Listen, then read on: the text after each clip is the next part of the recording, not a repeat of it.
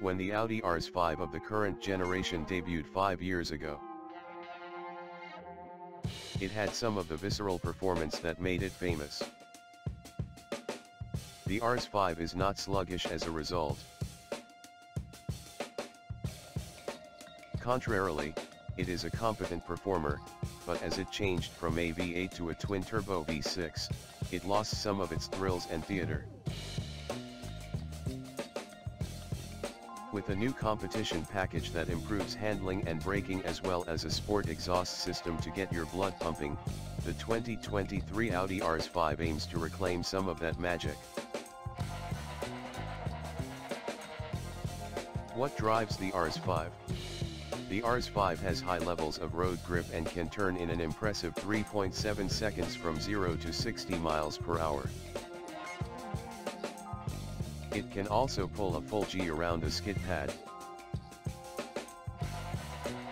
It lacks some of the excitement one would expect from an RS vehicle subjectively. It becomes a very dynamic performer in sport mode, but it does so by using sophisticated differentials that give the impression of a neutral or even loose rear end. There is a significant delay before the engine spools up and the vehicle begins to move in normal driving modes.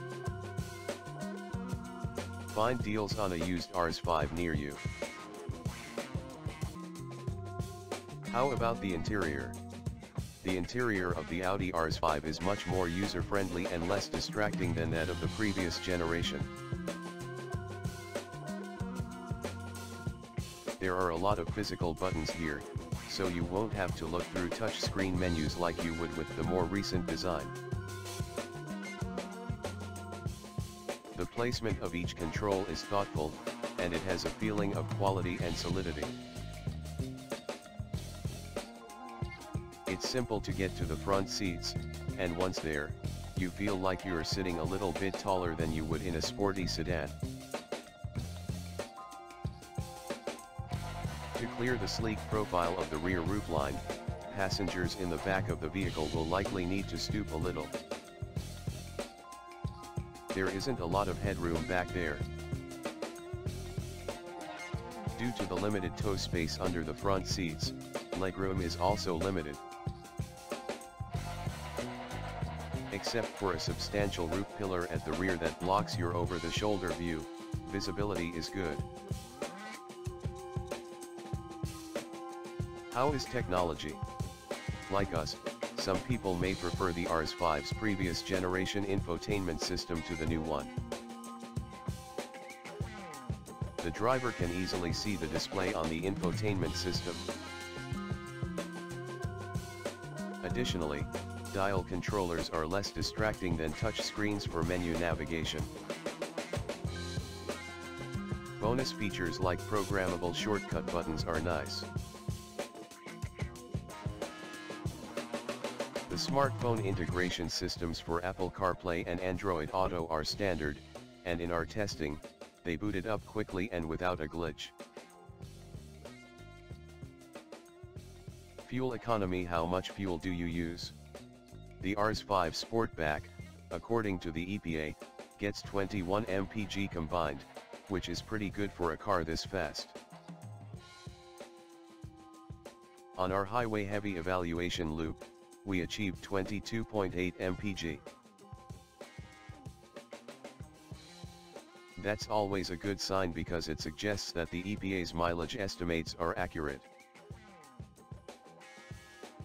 Is the price of the RS5 fair?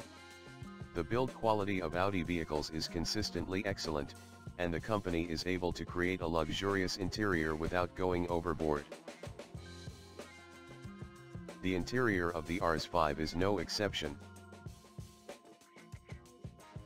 You'll realize just how much some nice things cost if you look at the window sticker. We believe that the BMW M5 and Mercedes-AMG E63 are in the same price range and compete in different performance leagues, so our S-tested cost reached $100,000. Although Audi's warranties are fairly standard, they do provide the initial scheduled service for free, which is more than some other brands provide. Which RS5 is suggested? The most important decision is whether to go with the 4-door Sportback or the Coupe because there is only one trim level. Models of the Audi RS5 The 2023 Audi RS5 is a high-performance car that sits above the A5 and S5, but its power and appearance make it stand alone. There is only one trim level available for either the RS5 Sportback or RS5 Coupe.